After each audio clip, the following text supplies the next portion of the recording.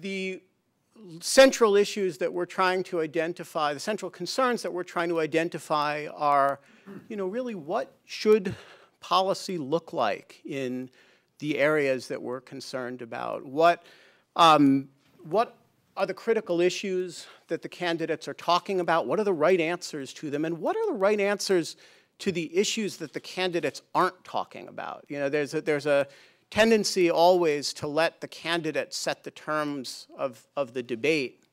Um, but sometimes there are just hugely important issues that, you know, just go by the wayside in campaigns that are much more important in the course of governing than they are in the course of campaigns. And so part of what we feel our role is, is to uh, remind people that there are these other issues that aren't actually the subject of much campaign debate, but do occupy or will occupy a lot of attention necessarily in the next administration.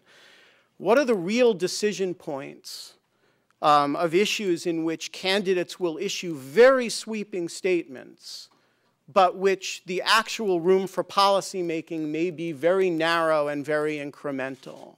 There are a lot of those issues. You know, we're going to sweep everything off the table, and then you, you, get into office, and actually, it's really more of a question of rearranging the silverware in, in, in certain respects.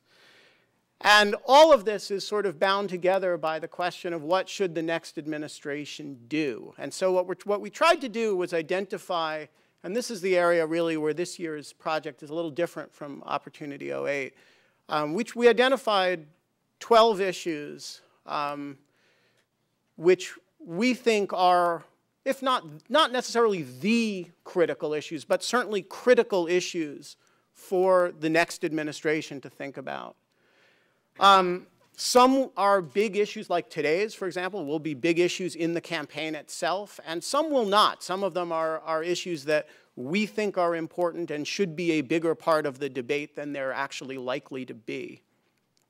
For each of these issues, we identified one Brookings scholar um, who had done work in that area, sometimes a pair, but, but in, in this case one, who had done important work in that area. And we asked that person to write a main paper kind of discussing the issue in question, the, the, the, the, the record of the last, the current administration on that, the critique that the opposition party is making of that record, and situating uh, that entire discussion in terms of the question, what should the next administration in the next four years, whether it's a reelected Obama administration or a Santorum administration or a Gingrich administration, et cetera, Romney administration, what should it do? What's the sort of right answer for the next administration?